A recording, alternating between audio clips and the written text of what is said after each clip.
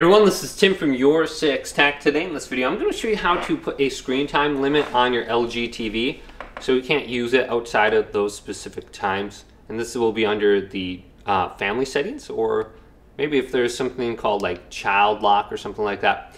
But we go up to the top to settings right here and select this and wait for this to load. But let's go to general now, go over to family settings.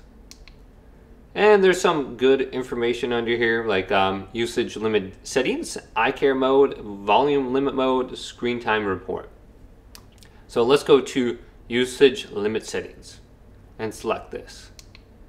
And then you're going to have to type in the password. Now by default the password is going to be 0000.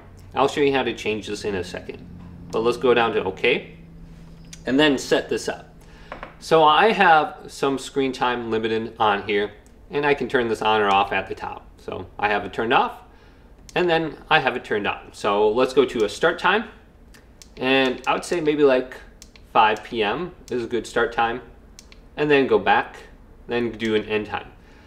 Now I wish they had this a little bit more complicated uh, where I could do it by days specifically because on the weekends I would probably want someone access to uh, the TV a little bit longer than this. So I can do two hours right now and then if I go to repeat, this will be every day.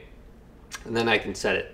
Now when I set it, it says, time's up. Please unlock the TV to watch, okay? Otherwise it's going to turn off. So let's go to unlock and then type in my password and then go to OK and I can continue to watch the TV.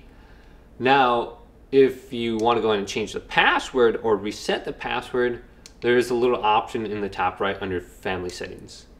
So the default password, someone is probably going to be able to guess that. Uh, so we can go up to top, reset password right here, and we can just reset it. So it says the default password is 000. So we can just enter in the password, go to OK, and then we can set a new password right now. So come up with something and then just type it in. I'm just going to do the same one and then confirm it so I don't forget it. So hopefully this video did indeed help you out. If did, leave it a big thumbs up and subscribe my channel down below for more tech out videos coming up next on Your 6 Tech.